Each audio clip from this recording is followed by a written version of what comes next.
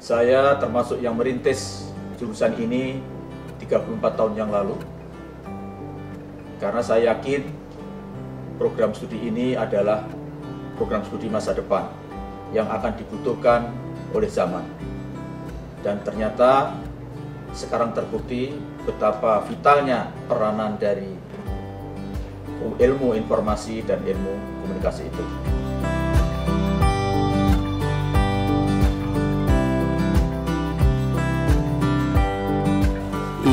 Awal mendirikan jurusan komunikasi di UMM itu adalah Pak Muhajir yang sekarang jadi menteri itu Profesor Muhajir ya. Nah kemudian saya sowan ke beliau sebenarnya ini komunikasi UMM ini maunya diarahkan ke mana gitu. Muhammadiyah itu kan lembaga dakwah gitu loh. Nah dakwah itu dalam pemahaman beliau kan tidak lepas dari aktivitas komunikasi. Maka kemudian eh, belum ada waktu itu yang punya jurusan komunikasi eh, PTM PTM perguruan tinggi Muhammadiyah. Kemudian kita buka itu, maka beliau satu antiwannya, Dibuti boleh melakukan eh, penataan kurikulum itu, tapi saya titip satu mata kuliah yang namanya komunikasi dakwah itu. kerja itu saya juga kaget ya kan kalau karena kalau di perguruan tinggi lain itu kan dosen ya tugasnya adalah tridharma. Nah ternyata di Universitas Muhammadiyah Malang ini eh, di samping kita harus mengajar kita juga harus mengerjakan kerja-kerja administratif. Eh, masa kepemimpinan saya di jurusan itu dinamika pergerakan mahasiswa juga sangat luar biasa. Jadi eh, hampir semua organisasi organisasi intra maupun ekstra itu dipimpin oleh orang komunikasi, mahasiswa-mahasiswa komunikasi. Begitu hebatnya kekompakan mahasiswa komunikasi pada zaman itu ya, pada waktu itu. itu pada tahun 95 pada bulan Juni itu status kenaikan dari diakui menjadi samakan itu keluar dari dikti. Sehingga itu momentum bagi kita untuk mengkampanyekan lebih gencar lagi termasuk publikasi besar-besaran bahwa status kita itu sudah berubah menjadi disamakan. kita berhasil untuk memiliki seperangkat lab produksi program siaran televisi, yakni lab audiovisual.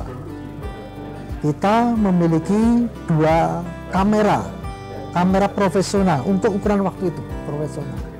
Ya, kamera, kamera beneran, Ya. berukuran besar, penampakannya juga besar. Gitu ya. saya buka Pak Hamidi, ternyata dia, Brit saya ingat kamu pengen jadi dosen. Sekarang di jurusan kita membutuhkan dosen, karena saya mau sekolah, katanya gitu. Kalau kamu mau segera ke kampus, buat lamaran nanti saya antar lamarannya. Waduh Pak Hamidi. Terus saya buat lamaran, saya serahkan Pak Hamidi, Pak Hamidi yang memproses, kemudian seminggu saya dipanggil oleh kampus. Tapi pas saya masuk, Pak Hamidi sekolah di UNPAD. Dan saya hanya surat menyurat dengan Pak Hamidi. Sampai dengan 96 mungkin masih tiga kelas, tapi 97 angkatannya Bu Widya. Ya itu mulai ada konsentrasi, kalau nggak salah mulai sudah 4 atau 5 kelas angkatannya Bu Widya itu.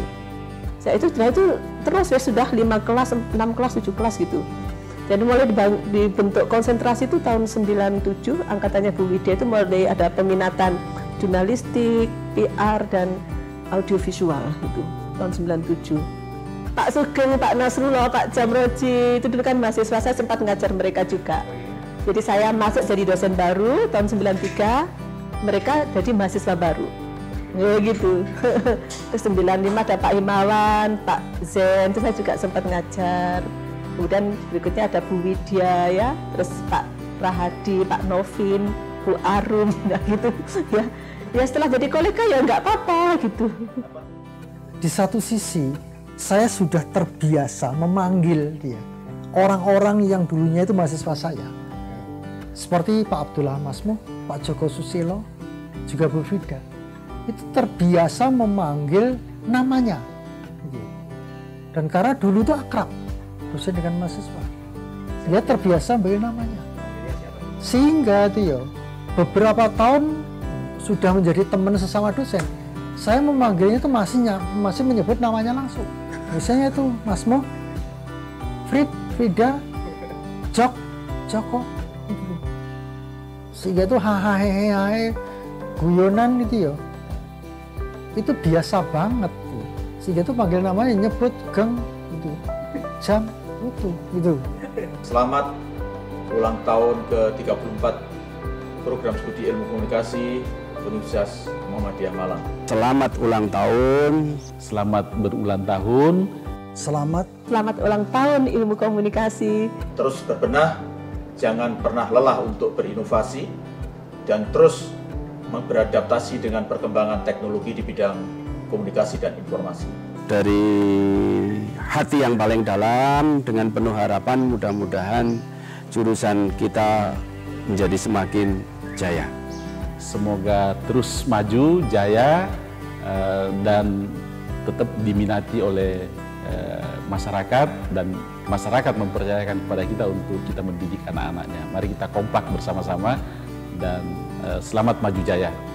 Semoga program studi ilmu komunikasi semakin matang, semakin berbobot, semakin arif dan bijaksana, dan semakin berguna bagi perkembangan kehidupan masyarakat, baik dalam bidang ekonomi, sosial, kebudayaan, keagamaan, dan lain sebagainya. Alhamdulillah komunikasi sekarang sudah berusia 34 tahun dan tetap eksis, semakin besar semakin baik, mahasiswanya semakin banyak, semakin kreatif, fasilitasnya juga semakin oke, okay, kekinian, sesuai dengan kebutuhan masyarakat yang berkembang ini. Terima kasih juga kepada guru-guru kami, guru-guru saya, almarhum Prof. Hamidi, Pak Budi Suprapto, Pak Farid Rusman, Bu Maya, Bu Wuri, semua adalah dosen-dosen kami yang sangat terkesan. Jos sekali komunikasi.